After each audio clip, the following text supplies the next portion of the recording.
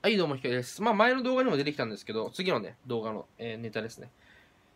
動画は質？それとも量？っていう疑問みんなあると思うんですよ。動画って、いっぱいで、とにかくね、もうクオリティ低くてもいいから、もう編集とかしないで、もうどんどんどんどん数上げていくのが大事なの？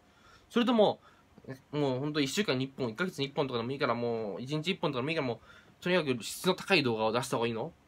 どっち？ってあるんですけど、その答えをね、僕は一発で答えられます。まあ、ありがちな、ありがちな答えなんだけど、正確正解は多分両方だと思うんですよ。うん。質が高くて、面白い、質が高い動画をたくさん出せばいいと思うんですよ。いやいやいや、それができないから言ってんじゃんって言うじゃん。そのできないっていう理由はさ、楽したいからじゃん。だから、楽したきゃどっちか選べいいんだよ。うん。ただ、楽な道よりも険しい道の方が、成功に近づくと思うよ。うん。ってなんか本にも書いてあった。うん。で俺もそう思うし。だから、簡単に言うと質が高くて、質が高い動画をたくさん作ればいいと思います。うん。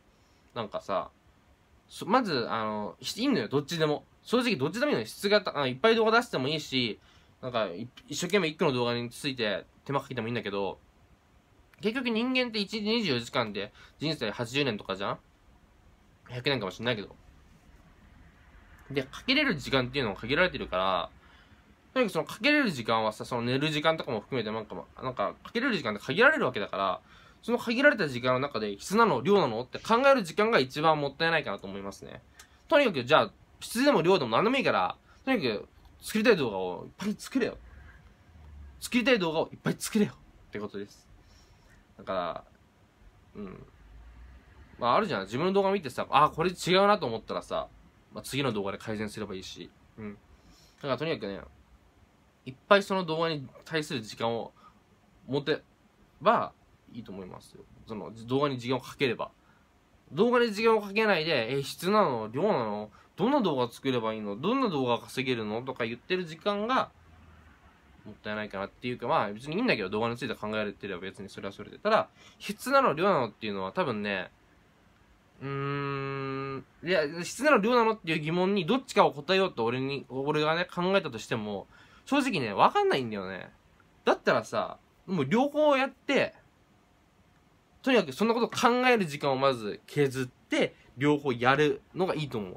うん。で、明確な答えが出れば、ね、もう完全にさ、何、毎日、1日3本動画上げて編集なしとかでも、ただ食べる動画とかでね、出してるよりも、1日1本とか、1週間に1本でも、クオリティ高い動画出せばいいとかあるけど、まあ、そもそも多分ね、あの、1日3本上げれない人が、1週間に1本クオリティ高い動画出せないと思うしね。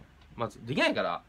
うん。だからもうね、考えることなくて、質の高い動画いっぱい出そうと思ってやってて、やれ、やれば、どっちかになるから、自然と。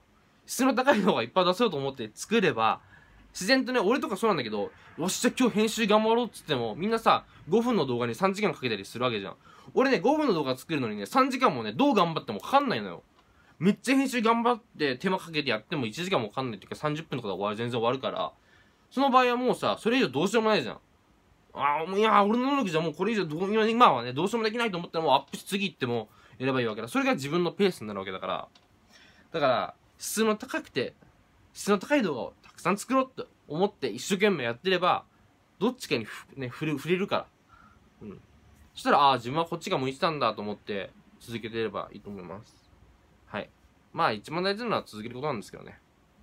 ということで、今回もね、なんか、喋る練習してたと思ってくれればいいかなと思います。ちょっと考えがまとまってないっていうかね、前回に比べてね、今日はね、あんま、うまく喋れないよな。うん。まあ、またね、同じネタについてもう一回語るかもしれないんですけど。じゃあまた。